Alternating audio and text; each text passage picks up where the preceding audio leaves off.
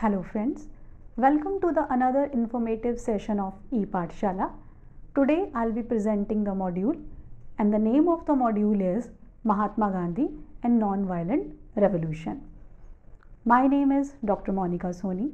I am from the Department of Political Science, GGDSD College, Sector 32, Chandigarh. Mahatma Gandhi, who is also known as Mohandas Karamchand Gandhi, was born on 2nd October 1869. He gave the theory of non-violence or ahimsa, which means lack of desire to harm or kill.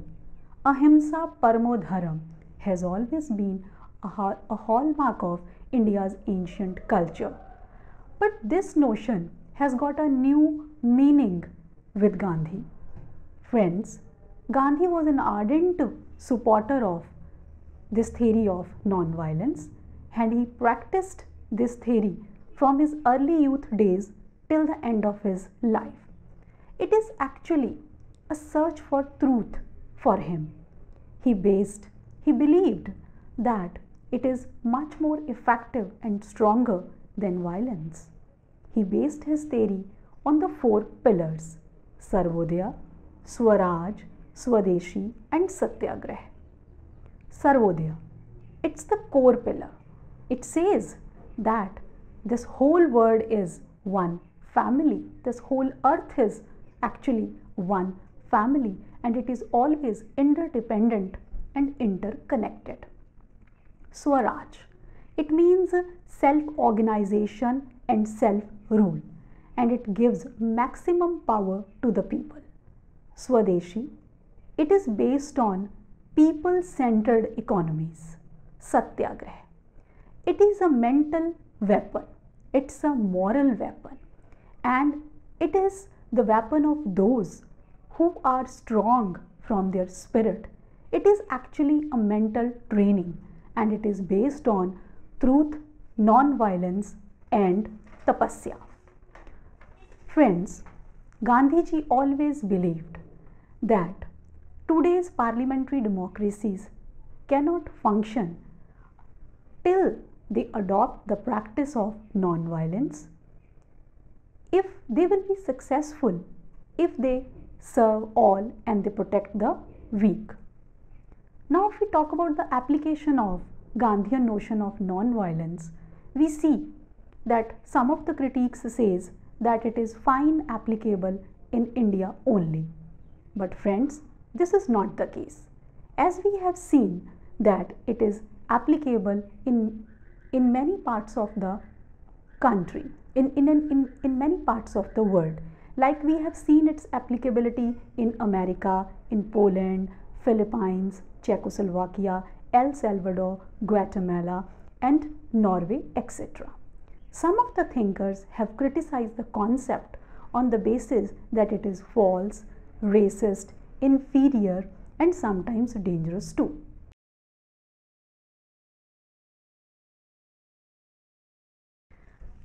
Mohandas Karamchand Gandhi was born in the town of Porbandar in the state of Gujarat on 2nd October 1869. Known for his ascetic lifestyle, he inspired many people around the world. He faced jail terms during the journey of the freedom of India. Finally, this legendary figure and the great fundamentalist laid to rest on 30th January 1948. But his principle of self discipline non-violence, ahimsa, satyagraha kept inspiring future generations ever after his departure to heavenly abode. Non-violent revolution or ahimsa, an introduction. Non-violence is a weapon of the great leaders. It's the simplest method of persuasion. Non-violence has divine qualities that take us near to God. So everyone should know non-violence and why non-violence is necessary. Non-violence guarantees freedom of conscience and people are free to base their behavior on their deeper conviction. Meaning of non-violent evolution or ahimsa. The literal meaning of non-violence means not to be violent in action. One should not kill humans and the wilds. One should not hurt them in any manner. non violence has been taken from the Sanskrit word ahimsa, which refers to lack of desire to harm or kill, is the personal practice of being harmless with self and with others under every condition. Non violence is not to be used ever as the shield of the coward, it's the weapon of the brave. Mahatma Gandhi. Historical background of non violence or ahimsa. Ahimsa is considered is the highest duty and accepted norm in Hinduism, Jainism, and many other religious traditions. In ancient India, people exclusively used to abide by the principle of ahimsa paramo dharam in practicality and had a pragmatic approach to this principle. It is a novel device of the greats to pacify stormy situations and has been in practice since ages. Mahavir, Jain, Gautam Buddha, Mahatma Gandhi, Ashok, and Leo Tolstoy have been the chief exponents of non-violence. Gandhian concept and philosophy of non-violence. With Gandhi, the notion of non-violence attained a special status. Mahatma Gandhi is also an ardent supporter of non-violence. He practiced non-violence right from his youth and preached the same worldwide. He said, It is the weapon of strong and brave. By strong people, he meant those who are morally and spiritually strong. He said that non violence is much effective and stronger than violence. Gandhi's non violence is the search for truth. Truth is the most fundamental aspect in Gandhi's philosophy of non violence. In the book Experiments with Truth, a compilation of his pursuit of truth, that Gandhi discovered the principle of non violence, which he further explained in his autobiography Ahimsa is the basis of the search for truth. I am realizing that this search is vain unless it is founded on ahimsa as the basis. Gandhi was the first in human history to extend the principle of non violence from the individual to social and political plane. Gandhi identified two forms of violence passive and physical. The practice of passive violence is a daily affair, consciously and unconsciously. It is again the fuel that ignites the fire of physical violence. Gandhi understands violence from its Sanskrit root himsa, which means injury. In the midst of hyper violence, Gandhi teaches that the one who possesses non violence is blessed. Blessed is the man who can perceive the law of ahimsa. In the midst of raging fire of himsa all around him. Gandhi objects to violence because it perpetuates hatred. When it appears to do good, the good is only temporary and cannot do any good in the long run. A true non-violence activist accepts violence on himself without inflicting it on other, leading towards heroism. When Gandhi says that in the course of fighting for human rights, one should accept non-violence and self suffering. He does not applaud cowardice. There is a need for a perfect weapon to combat violence, and this is non violence. Gandhi understood non violence from its Sanskrit root ahimsa, is just translated to mean non violence in English, but it Im- implies more than just avoidance of physical violence. Ahimsa implies total non violence, no physical violence, and no passive violence. Gandhi translate ahimsa as love. For Gandhi, non violence is the greatest force at the disposal of mankind. It is mightier than weapon of mass destruction. It is superior to brute force. For non violence to be strong and effective, it must begin with mind, without which it will be non violence of the weak and the coward. Gandhi stressed this when he says, quote, I can imagine a fully armed man to be at least a coward. Possession of arms implies an element of fear, if not cowardice, but true non-violence is impossibility without the possession of unadulterated fearlessness. Unquote. As the world's pioneer in non-violent theory and practice, Gandhi states that non-violence contained a universal applicability. In this passage, Gandhi promises deliverance through non violence for the oppressed people without exception.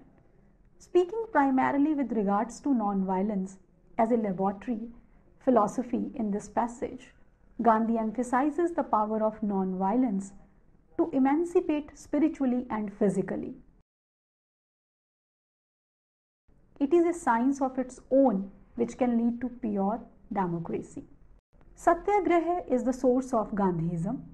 Though Gandhi introduced a new spirit to the word and it is his greatest contribution to the world. Gandhian non-violence is a combination of constructive base building programs and satyagraha, often interpreted in the global north as a form of spiritual direct action. His first use of civil disobedience on a mass scale began in September 1906 when the Transvaal government wanted to register the entire Indian population and passed what the Indians called the Black Act. In response, they held a mass meeting in the Imperial Theatre of Johannesburg. Some were so angry at the humiliating ordinance that they threatened a violent response if put to the test. With Gandhi's advice, they all decided as a group to refuse to comply with the registration provision Gandhi decided to call this technique of refusing to submit to injustice satyagraha. The philosophy of non-violence that has been developed through much of the 20th century has made an indispensable contribution to all theories of legitimate revolutionary social change. Gandhi himself has said that if one lacked the courage to fight injustice through non-violent means, then one should pick up a gun. He affirms that non-violence is the activation in us of that true courage, honor, faithfulness, integrity, and loyalty to truth and justice. Gandhi understood that a non-violent world order is not only a spiritual commitment on the part of persons everywhere, but must institutionalized both politically and economically in the form of democratic world government, federated democratic government at all levels of governing. Gandhi made clear if we want real democracy on earth and real economic justice and prosperity on earth, we will have to institutionalize non-violence. With the today's system of militarized sovereign nations, state and vast disparities between extreme wealth and extreme poverty, we have pervasive institutionalized violence. This violence requires the military to enforce its global system of injustice and exploitation. Four pillars of ahimsa or non-violent revolution. Gandhi offers four pillars for the sustenance of ahimsa Sarvodaya, Swaraj, Swadeshi, and Satyagraha. Sarvodaya this is the core among these pillars. That is the practice of economic, political, and moral justice for all. It is based on the idea that earth is having sufficient to satisfy the need of all, but when it comes to satisfying the greed of a single man, it complains of paucity. Swaraj Gandhi's idea of self rule celebrates the freedom born of the self discipline necessary for Sarvodaya. Swaraj demands maximum power for self organization and self rule by people within their families, neighborhoods, villages, and bioregions. We assume full responsibility for our own behavior and for our decisions made with others and how to organize our communities. Swaraj celebrates personal freedom from poverty and all forms of domination. Swadeshi. At the heart of Swadeshi is honoring and celebrating local economy. With people enjoying a right livelihood from the gifts of the natural resources, Swadeshi is people centered economies. The soul of small is beautiful. Satyagraha. Satyagraha, pronounced Satyagrah, is a compound of two Sanskrit nouns, Satya meaning truth and Agraha meaning firm grasping. Satyagraha means truth force, soul force, and or as Martin Luther Jr. would call it, love in action. Satyagraha has often been defined as the philosophy of non-violent resistance, most prominently employed by Mahatma Gandhi in forcing an end to the British domination. Gandhi's view of Satyagraha. Satyagraha was, most, was not a preconceived plan for Gandhi. Even in his life, culminating in his Brahmacharya vow, prepared him for it. Satyagraha is a moral weapon and the stress is on the soul force over the physical force. It aims at winning the enemy through love and patient suffering. It deals with an unjust law not by crushing, preventing, or taking revenge against the authority by adopting coercive measures, but to convert and heal it. Satyagraha is ornament of those people strong in spirit. A person not having doubts regarding his convictions or a timid person cannot do it. Satyagraha teaches the art of living as well as dying. Love and unshakable, that is, firmness, are its indistinguishable constituents. It is uniformly applicable to all, irrespective of age and sex. The most important training in Satyagraha is mental, not physical. The concept of Satyagraha has some basic precepts which are being treated below. The basic precept of Satyagraha. There are three basic precepts essential to Satyagraha truth, non violence, and self suffering. These are called the pillars and foundation of Satyagraha. Failure to grasp them is a handicap and creates penumbra to the understanding of Gandhi's non violence. These three fundamentals correspond to Sanskrit terms Satya, truth implying openness, honesty, and fairness. Ahimsa or non violence means refusal injury upon others. Tapasya, willingness to self sacrifice. Satya or truth. Satyagrah, as stated above in its etymological sense, means truth force. Truth is a relative term. Knowing the absolute truth is beyond the reach and capabilities of a common.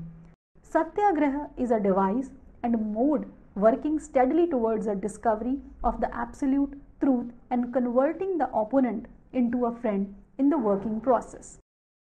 Gandhi made in his life a numerous experiments with truth. In holding to the truth, he claims to be making a ceaseless effort to find it. Gandhi's conception of truth is deeply rooted in Hinduism. Reaching pure and absolute truth is attaining moksha. Gandhi holds that truth is God and maintains that it is an integral part of Satyagraha. Ahimsa. In Gandhi's Satyagraha, truth is inseparable from Ahimsa. The negative prefix a plus himsa, meaning injury, make up the word normally translated non-violence. The term ahimsa appears in Hindu teachings as early as Chandogya Upanishad. The Jain religion constitutes ahimsa as the first vow. It is cardinal virtue in Buddhism. Despite its being rooted in these religions, the special contribution of Gandhi was to make the concept of ahimsa meaningful in the social and political spheres by molding tools for non-violent action is to use as a positive source in the search for social and political truths. Gandhi formed ahimsa into the active social technique, which was to challenge political authorities and religious orthodoxy. It is worth noting that this active social technique, which was to challenge political authorities used by Gandhi, is none other than Satyagraha. Truly enough, the Indian milieu was already infused with the notions of ahimsa. Nevertheless, Gandhi acknowledged that it was an essential part of his experiments with the truth whose technique of action he called Satyagrah. At the root of Satya and Ahimsa is love. While making discourses on the Bhagavad Gita, an author says, Truth, peace, righteousness, and non-violence, Satya, Shanti, Dharma, and Ahimsa. They are interrelated with each other and are essentially dependent on love. When love enters the thoughts, it becomes truth. When it magnifies itself in the form of action, it becomes truth. When love manifests itself in the form of action, it becomes dharma or righteousness. When your feelings become saturated with love, it becomes peace itself. The very meaning of the word peace is love. When you feel your understanding with love, it is ahimsa. Practice love is dharma. Thinking of love is satya. Feeling love is shanti. And understanding love is ahimsa. For all these values, it is love which flows as the undercurrent. Tapasya or self suffering. It remains a truism that the classical yogic laws of self restraint and self discipline are familiar elements and engrossed within Indian culture. Self suffering in Satyagraha is a test of love. Gandhi distinguished self suffering from cowardice. Gandhi's choice of self suffering does not mean that he undermined the value life. It is rather a sign of voluntary help and it is noble, spiritually and morally enriching. Satyagraha is at its best when preached and practiced by those who would use arms but doesn't desire to invite suffering upon them. It is not easy for a Western mind or a non oriented philosopher to understand this issue of self suffering. In fact, in Satyagrah, the element of self suffering is perhaps the least acceptable to the Western mind. Yet, such sacrifice may well provide the ultimate means of realizing that characteristics so eminent in Christian religion and Western modern philosophy the dignity of the individual. The three elements Satya, Ahimsa, Tapasya must move together for the success of any Satyagrah campaign. Satyagrah in action. For Satyagrah to be valid, it has to be tested when the principles are applied disobedience, non cooperation, non violent strike, and constructive actions are cherished. South Africa and India were laboratories where Gandhi tested his techniques for campaign against social maladies. Qualities of a Satyagrahi. A Satyagrahi should have a living and faith in God for him is his only rock. One must believe in truth and non violence as one's creed and therefore have faith in the inherent goodness of human nature. One must live a chaste life and be ready and willing for the sake of one's cause to make sacrifices life and his belongings. One must be free from the use of any intoxicant in order that his reason may be undivided and his mind remains actively recipient. One must follow from the core of one's heart all the rules of discipline as may be laid down time to time. One should abide by the jail rules unless they hurt one's self respect. A satyagrahi must accept to suffer for a good cause that is in order to correct a situation.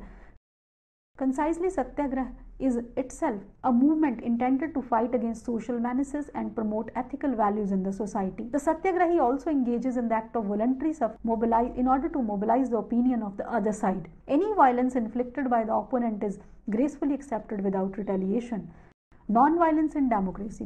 Mahatma Gandhi has deep faith in non-violence and and was of the opinion that all man made institutions are not free from risk, particularly a state like institution. He believed that in a state, especially democracy, can be survived only on the basis of non violence. It cannot be evolved into its form until and unless it falls completely under the purview of non violence. However, Gandhi himself was not sure about it. He admitted, quote, I am making efforts in this direction, unquote. For him, the correct approach was to improve the working of the contemporary democracy and to survive towards the goal, making sure that justice and freedom are availed of universally by all. Only then the true form of democracy can be established and fully materialized. This is what is known as Ram Rajya of his dreams. Naturally, such an inspiring notion could not be confined to a particular country, but in context of India especially, he believed that people had great inclination towards the application of non-violence, both in principle and in practice. In a country like India, which has unity in diversity, where people have remained committed to the divine value of non-violence in practice, and where the system of self-government lies deep-rooted at the level of villages, no form of government other than democracy can survive or work. Gandhi himself said that it is most likely that even in democracy there may be misuse of power. The evils may creep in because it is man made, not God made institution. Democracy is essential, therefore, in a country like India. If we eliminate instances of misuse of democracy, it can bring a real Ram Rajya or sincere efforts can be made to achieve that status.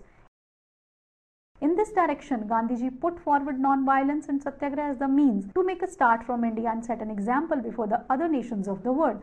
But to bridge the gap between the rich and the poor, use of violent methods were strictly prohibited according to Mahatma Gandhi. He relied on non-violent methods for this purpose.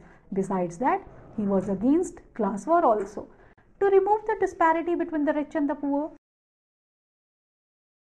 He put forward the principle of trusteeship, which was within scope of non-violence, but it would serve significantly and commendably not only in India but also in the other nations of the world as a guideline. Gandhi reformed the concept of democracy by devising means to involve the people in power. Gandhi was against the concentration of power in the hands of the few. He was very particular about decentralization of power. Concentration of power means keeping the power in the hands of few who may misuse the power as and when according to their advantage. In democracy, all the people must have access to power. Then only power can be able to function within the purview of morality. Though outwardly power will be functioning through representatives of the people, in reality the people will be the sole authority to delegate the power. Democracy can only be saved through non-violence because democracy, so long as it is sustained by violence, cannot provide for all and protect the weak. My notion of democracy is that under it, the weakest should have the same opportunity as the strongest. Democracy with non-violence are not just methods of struggle, they are ways of discovering truth, of allowing the truth of each individual to be registered in the whole. Extent of applicability of non-violence. The concept of non-violence was not to be confirmed for mere individual practice but to be applied by the groups and the communities and the nations at large. Mahatma Gandhi had great dedication in trying to realize it. His faith helped him to discover new truths every day. He said ahimsa is the attribute of the soul and therefore to be prepared by everybody in all the affairs of life. If it cannot be executed in this spirit, it has no practical value. Are only the Indians suited for non-violence action? There are the critics who say non-violent action worked fine in India, but they do not think it would make sense to use it elsewhere.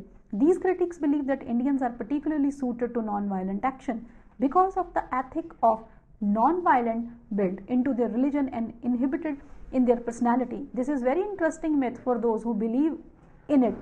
Certainly possess a very selective filter. Gandhi's philosophy of non-violence seems to have been consciously inspired firstly by the New Testament, the Sermon on the Mount. Only later he found similar ideas in Hindu scriptures. Therefore, the concept was not originated in India. But really, the easiest way to see the non-violent action is suitable outside India is simply to look at all the cases of non-violent action outside India. Unless your filter is pretty murky, you can hardly miss them. It certainly cannot be easy to ignore the example of Martin Luther King Jr. or to forget the solitary movement in Poland or to overlook the coup of Ferdinand Marcos in the Philippines. It is said non-violent action can work only against easy enemies like the British and not against say the Soviets or Central American dictators or those villains or of last resort, the Nazis. Here again, filters are in place because non-violent action has been used with some success against all these. Gandhi as a revolutionary thinker. Every great thinker is a great revolutionary since each has a unique vision and original perspective which could change our thoughts in some way or the other. There are nevertheless a number of them who advocated for an effective change or on monumental scale. Gandhi was one such political thinker who always wanted to make sea change in society at a comprehensive scale. Every revolution has its symbols, which are an index of its objectives. Gandhi gave us three symbols community prayer, spinning wheel, the broomstick. The world is filled with disguising terrorism, violence, discrimination, etc. The politicians ignite religion based war among people for money and power. So people are tired and bored of being patient and tolerant. It seems that Gandhian principles are slowly vanishing from human heart and tolerance power is decreasing gradually. Some of the political thinkers criticize non-violence as being ineffective, racist, status, patriarchal, and strategically inferior to militant activism and deluded. Feminists also criticized it by claiming that non-violence looks a lot like passive and women have to be passive in the face of violence that Gandhiji has always dreamt of a world where everyone is blessed with peaceful environment. Non-violence is a peaceful phenomena with utmost significance. It is a most innovative and inspiring solution to all kinds of problems and conflicts existing in the society. Being the victim of corruption, criminalism, dictatorship and power games are really in need to go back to Gandhi's conviction of non-violence and truth as a last resort to escape from these maladies. By enforcing non-violence, these nations will surely get rid of social, political, economic and religious troubles. Beyond doubt, it can be said that social doctrine of non-violence promulgated by Mahatma Gandhi, has now become the key to provide sustenance to the new social and political order, and it is not a thing of the past but holds a bright future if enforced in proper manner all over the world. We have seen that Gandhiji has always been an ardent supporter of the world which was based on peaceful environment. His notion of non-violence is much more important or we can say significant in today's world which is based on corruption, communalism, you know, hatred, violence, and power games. It is certainly not a thing of the past, rather, it is holding a bright future. It is holding a key to establish a new kind of political and social order. And the only important thing is that if it is implemented effectively in the world